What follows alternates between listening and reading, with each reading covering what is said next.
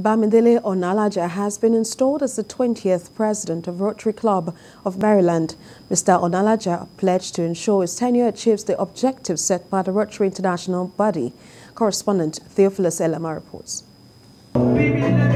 It was a celebration galore as Rotary Club of Maryland rolled out the carpet to welcome guests in the installation of their 20th president.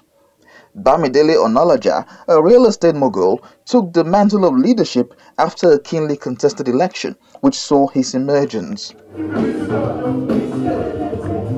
Dignitaries from all walks of life are here gathered to celebrate with the Rotary Club of Maryland. As you may know, Rotary Club have been at the forefront of promoting peace, fighting disease, providing clean water, saving mothers and children, supporting education and growing local economics through our team of professionals united in the ideal of service to humanity. I say that our results as a club in the immediate past Rotary year rests on three major pillars.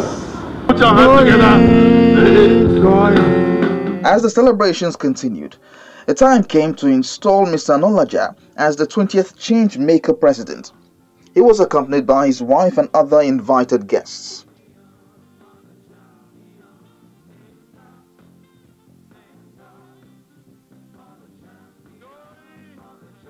We put money together as Rotarians to touch humanity, to touch lives all over the world. And that's what service is all about. I mean, that means it's about yourself, it's, it's not if about you. It's about other people, the children, the needy, the widows people that don't have enough. Though we don't some of us don't always have enough but despite the little that god gave us want to give to humanity. A hardworking person and uh, whoever labor must be duly compensated is going to be the game changer as he has promised because you call him and he's always running there. He has he, he was able to pull a lot of people and i'm sure that a lot of people will support his tenure this installation also doubled as a fundraising event where the club raised over 100 million naira for various humanitarian works planned for the year.